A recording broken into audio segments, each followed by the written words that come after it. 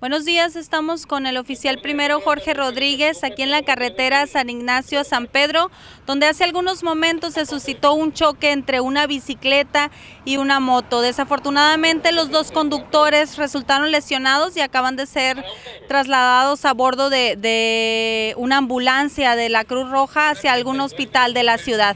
Díganos oficial, ¿cómo estuvo, cómo estuvo el percance?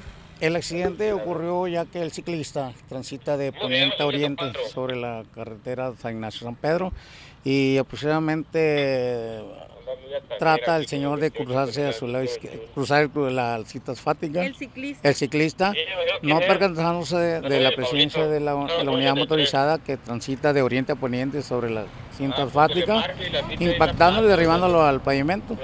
Así es como ocurrió el accidente.